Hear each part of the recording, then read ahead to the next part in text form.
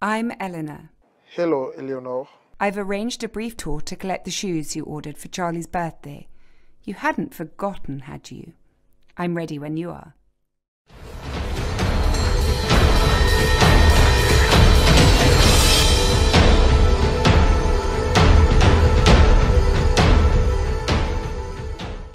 We will be arriving in a few minutes.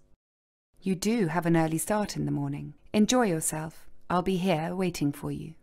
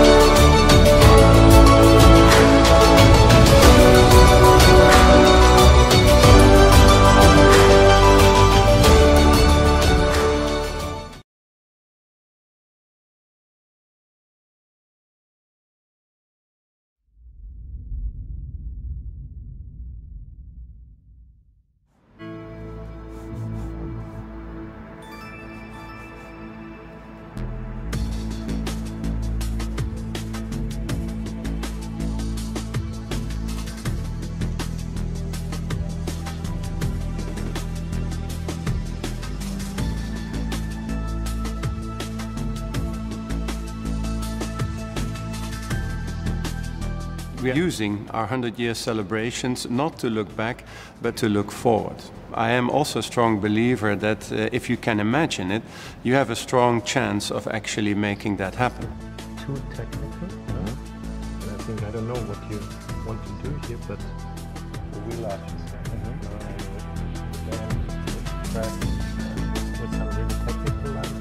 A live geometry is a concept we thought about for this car to illustrate the fact that in the future the digital world and the analog world will work together to create a seamless experience. So some parts of the car will be moving and relating to the digital information that you get in the car.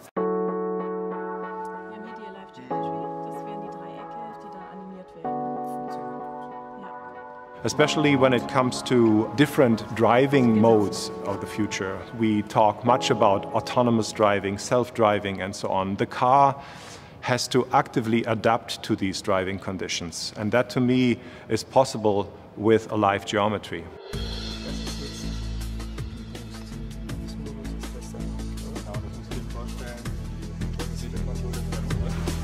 Ease and boost are two modes that we have in the Vision vehicle. Ease is for those moments where you don't want to concentrate fully on the act of driving. You want to relax or maybe concentrate on something else. And boost is for those moments where you want your typical BMW driving experience. The Vision vehicle is something very special for us. We're not only thinking about form and shapes, we're thinking really about values, about how you live in the car, about how the brand can evolve.